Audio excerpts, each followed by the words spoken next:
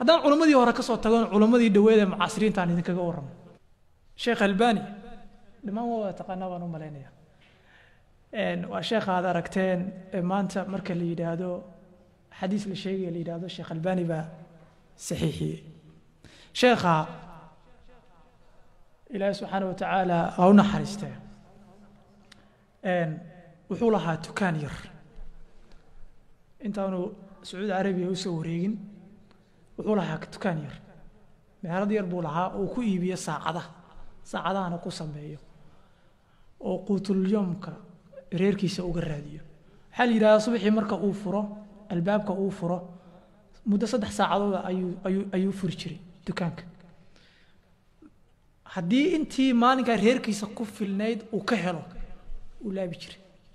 Albaabada u xidhi jiray guduhu fadhiisan jiray waxbuu akhriyi jiray. Ilaa uu noqday dee maxay sheekhaa maanta aynu wada garanayno imaamka jaliilka.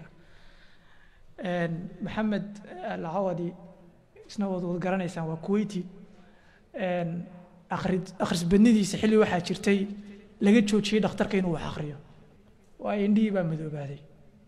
Maruu ka warramayo aan u jeclaystay documentary waxaa jira youtube ku jira aad ka wada daawan karaysaan. Wuxuu ka warramayaa xaaskiisa markay isguursanayeen ayaa wuxuu yidhi akhriskayga markay la yaabtay ayaa wax ii hibaysay oo i siisay meherkeedii. Markaase waxay tihi waxaad ku gadataa kutubtaad jecesha. Kutubtaad jecesha ku soo gatay. Markaasu wuxuu yidhi waxaan ku soo gatay ummahaatul kutub baan ku soo gatay oo waxaan ku soo gatay tafsiirkii iyo muxuu ahaa kutubtii ummahaatu sita iyo tafaasiirta iyo shuruucdoodii. Wuxooda dhin baan soo wada gatay. Marka uu tilmaamaya wuxuu leeyahay kutubtaasaan soo gatay. Waad jeclaanaysaan hadda haddaad daawataan. Culimmadeennii soomaaliyeed sheekha waad garanaysaan. Yaa magaciisa garanaya?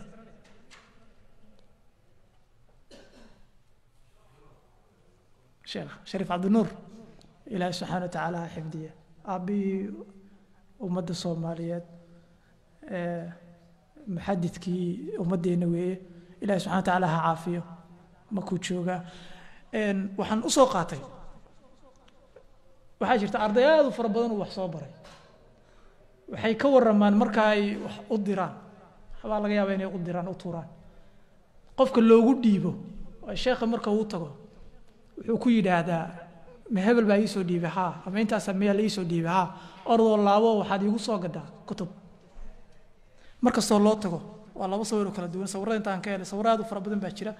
Mid walba oo laga soo qaado culummadu markay tagaan ay ku soo booqdaan gurigiisa waxaa loo tegaya isagoo wax akhriyaya waxaan u malaynaya hadda siddeetankii inuu dhaafay sagaashan jir weeye.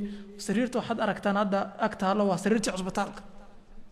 Marmar baa la qabtaa uu aan hadli aanu hadli karayn haddana marka uu miirsado kitaabkii buu soo qaadanaya waa akhrinaya. Sheekha wada garanaysaan sheekh mustafa.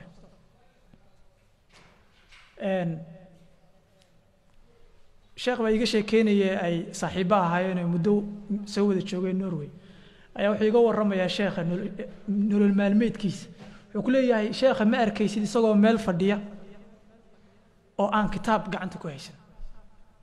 Bale inta badan sheekha wuxuu samey wuxuu sameyn wuxuu sameeyaa ama kutub buu dhegaysanaya at the same time haddana dhigaa waxa ugu jira.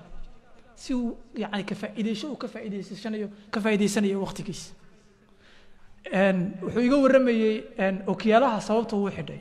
Dowladdii siyaad baraa xidhay sheekha xabsi buu ku jiray.